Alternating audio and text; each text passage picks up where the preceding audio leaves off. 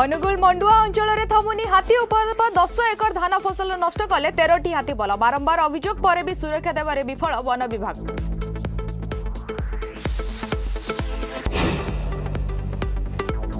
ଆଜିଠୁ ସଂସଦର ମୌସୁମୀ ଅଧିବେଶନ ଏଗାର ଅଧ୍ୟାଦେଶ କାର୍ଯ୍ୟ କରିବାକୁ ଆସିବ ତେଇଶ ନୂଆ ବିଲ୍ ମହାମାରୀ ପାଇଁ ଗୃହରେ ସ୍ୱତନ୍ତ୍ର ବ୍ୟବସ୍ଥା ସରକାରଙ୍କୁ ଘେରିବାକୁ ବିରୋଧୀ ପ୍ରସ୍ତୁତ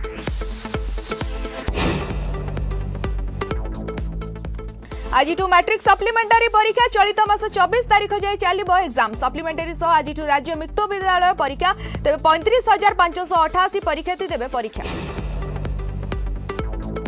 ବର୍ଷା ଅନୁଭବ ପାରିବାରିକ ବିବାଦ ଆଜି ଫ୍ୟାମିଲି କୋର୍ଟରେ ବର୍ଷାଙ୍କ ଆବେଦନ ଉପରେ ଶୁଣାଣି ସେପଟେ ସୋସିଆଲ ମିଡିଆରେ ଉଭୟଙ୍କ ମଧ୍ୟରେ ୱାର୍ ଜାରି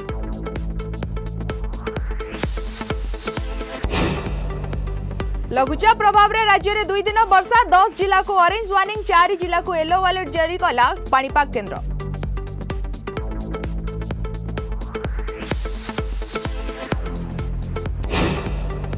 এবং বিশিষ্ট অভিনেতা অজিত দাসক শেষকৃত্য আজ ভুবনেশ্বরের পরিবার লোক উপস্থিতিরে হব অন্তিম সংস্কার গতকাল এক ঘরোই হসপিটালে হয়েছিল দেহান্ত